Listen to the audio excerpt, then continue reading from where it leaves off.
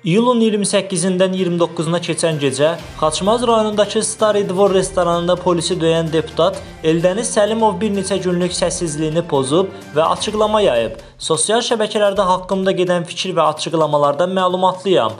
Jurnalist marağının peşə fəaliyyəti ilə bağlı olduğunu anlayışla qarşılayıram. Bunu da bilirəm ki, insaniyyətlik və həssaslıq göstərib şəxsimlə maraqlananlar da var.